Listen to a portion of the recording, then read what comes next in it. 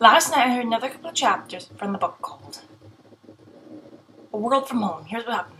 Alice and Florence went to get snow boots at a shoe clerk. They had walked to school in their old ones.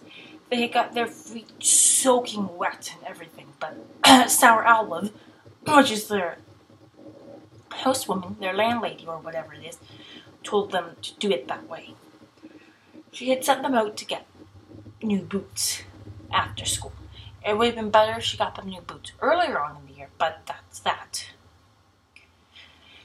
It was really quite bizarre, really weird, but it has worked. Um, Sour Olive is not very sweet lady.